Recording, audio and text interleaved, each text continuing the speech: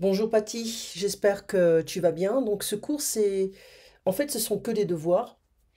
Euh, j'ai voulu en fait te donner euh, ce genre de, vidéo, de faire ce genre de vidéo pour t'aider un petit peu avec la pratique euh, du français. Donc je vais essayer de prendre le temps de faire une vidéo chaque semaine qui te fera peut-être 10 minutes pour t'aider un petit peu avec la prononciation, à revoir certaines prépositions.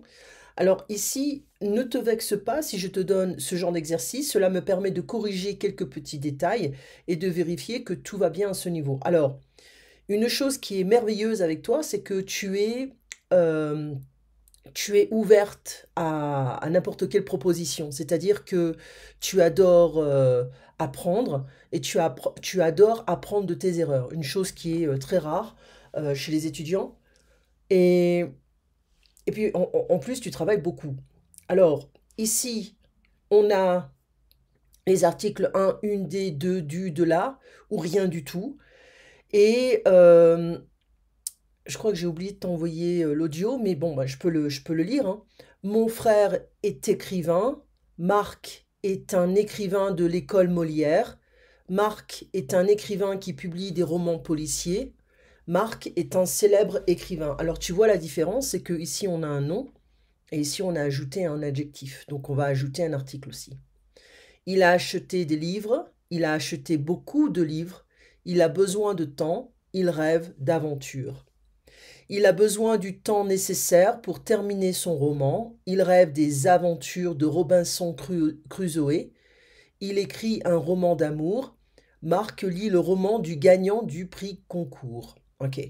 Alors, ici, dans la première phrase, après le verbe, on trouve un nom ou un adjectif, donc il faut faire attention à ce genre de choses, hein, tu le sais en tant que prof d'anglais.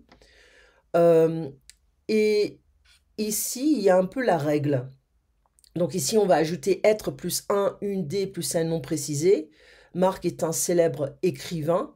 C'est quand on ajoute un adjectif. En fait, il ne le précise pas. On dira être plus un euh, plus adjectif, nom ou nom plus adjectif. D'accord? Si on ajoute un adjectif, on peut ajouter un article. Verbe plus o à la a l'apostrophe o du de la de à l'apostrophe plus d plus un nom précisé, c'est-à-dire qu'on aura une précision sur le nom. Euh, pas forcément qu'un adjectif, mais on peut ajouter euh, des petites choses concernant la personne ou le nom simplement. Pour exprimer la quantité 1, une, des plus le nom, il a acheté quoi? Des livres. Pas forcément que des, mais aussi on a, il a acheté de la glace, il a acheté euh, euh, du café, euh, de l'eau, etc. Donc la quantité, ce sont les partitifs, donc il faut ajouter ça. Nom plus de, de la, etc.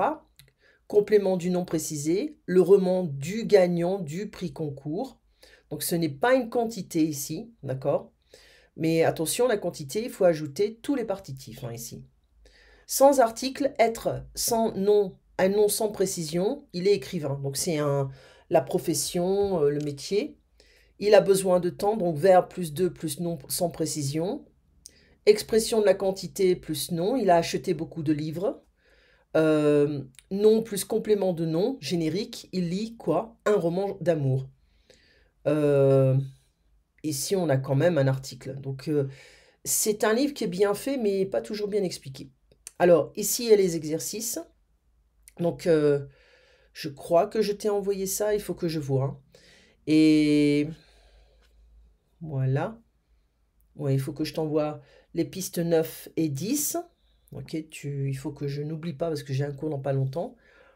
Et euh, d'autres d'autres petits détails qui créent des problèmes aussi. Certains, plusieurs, n'importe quel, chaque, aucun, pas un, tout. On a rencontré plusieurs champions. Il a neigé toute la nuit. Il a neigé toute la nuit. Tous mes amis aiment faire du ski. Toutes ces pistes sont difficiles. Certains champions ont gagné une médaille. Quelques champions sont venus signer des autographes. On a rencontré plusieurs champions. J'ai dépensé tout mon argent pour mon séjour à la montagne. Euh, ils vont skier à n'importe quelle heure. Aucun champion n'est venu à la rencontre du public. À Tignes, on peut skier, en toute saison et tout skieur hors piste sera sanctionné. D'accord? Et là, on a l'explication. Donc c'est pas toujours correct, mais bon. Tout plus un déterminant et un nom masculin singulier, tout le temps, tout mon, ton, son, notre, votre, leur, voyage, leur argent, pardon, tout ce voyage, toutes parce que c'est féminin, tous parce que c'est pluriel, tous les amis, et toutes c'est féminin pluriel.